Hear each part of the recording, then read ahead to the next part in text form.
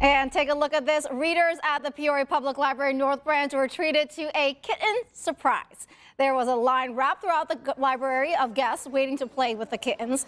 The pop-up cat cafe is sponsored by the Peoria Humane Society in order to bring awareness to the cats offer adoption at PCAPS. Kitty Yanko with the Humane Society says the end goal is to find responsible owners for these furry felines. They do a lot of story times and they have an active uh, group of people that come out here all the time. So it was just an easy way for us to bring some cats, get some attention and focus on reading and literacy and just really focus on um, finding homes for cats that are homeless. And you can get another look at the cats at PCAPS next week at the opening of the first cat cafe in Peoria. River Kitty Cafe opens March 9th and it's located at 3226 University Street.